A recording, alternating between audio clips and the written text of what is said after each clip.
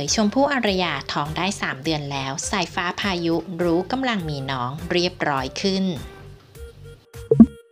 ให้แฟนๆ ได้ทราบสำหรับว่าที่คุณแม่ลูกสามชมพู่อารยา ที่ได้โพสต์ภาพอันตราสาวอัตราการเต้นของหัวใจของเด็กในท้อง พร้อมเขียนแคปชั่นว่า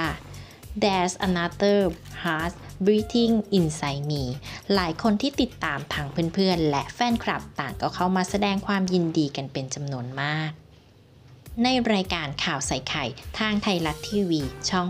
32 แองจี้โปรดิวเซอร์รายการก็ได้มานั่งทำหน้าที่พิธีกรแทนรถเมย์คนึงนิด ก็ได้เล่าให้ฟังว่า เมื่อวันจันทร์ที่ผ่านมาชมพู่นั้นได้ไปอัดรายการสามแซบและแองจี้ได้สังเกตเห็นว่าชมพู่มีพฤติกรรมที่เปลี่ยนไป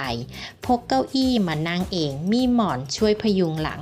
ต้นเองเลยสังเกตกับแอปทักษะอ่อนว่า ชมพู่ท้องหรือเปล่า เพราะมีคนคอยเดินตาม ประคบประงมค่อยๆเดิน ซึ่งแอปบอกว่าพี่ว่าน่าจะใช่นะ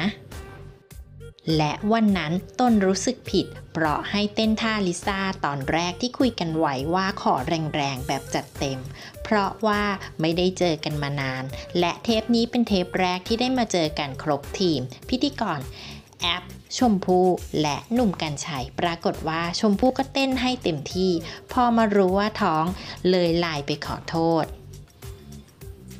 จีบอกอีกด้วยว่าตอนนี้ชมพู่อาริยานั้นท้องแล้ว 3 เดือน มดดำถามต่อว่าได้ลูกสาวหรือเปล่า แองจี้บอกว่าก็น่าจะ และช่วงนี้แพ้ท้องหนักมาก ที่ผ่านมาคนรอบข้างชมพู่ไม่มีใครพูดเลย อีกทั้งสายฟ้าพายุเหมือนจะรู้ว่ากำลังมีน้อง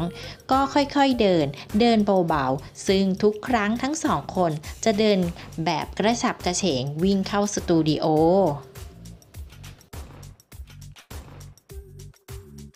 และเพื่อที่จะไม่พลาดคลิปใหม่ๆ อย่าลืมกดติดตามค่ะ